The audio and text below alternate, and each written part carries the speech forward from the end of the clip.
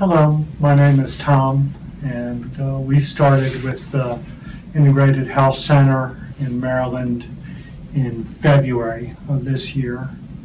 And at the time, uh, I weighed about 210 pounds. Um, My A1C was 8.0. Um, I was taking a lot of uh, medication. I was taking metformin. I was taking a statin. And uh, now it's uh, the end of August. My A1C is 6.0.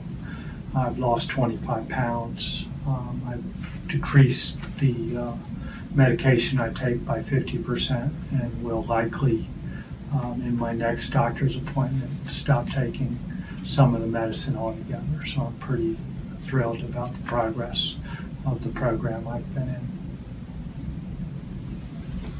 And my name is Aisha. My uh, highest A1C was 11 a couple years ago.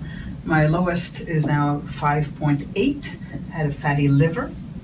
And since I've started on the integrated health, eating properly, exercising, uh, I feel a whole lot better.